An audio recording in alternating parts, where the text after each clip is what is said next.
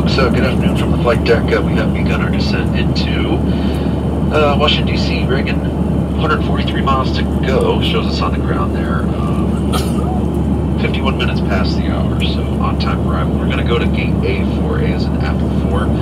Current weather, winds are out of the north, 9 miles an hour, just partly cloudy skies. It's warm, 88 degrees. As always, we love having you aboard.